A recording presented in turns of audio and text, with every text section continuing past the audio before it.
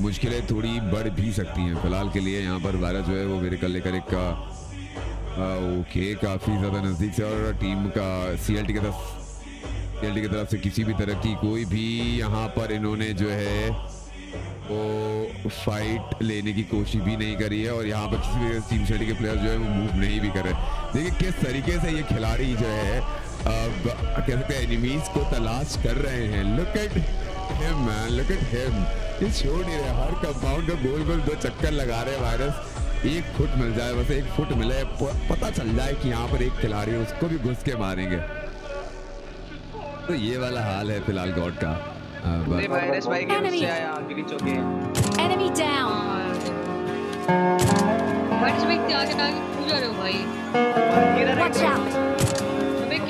से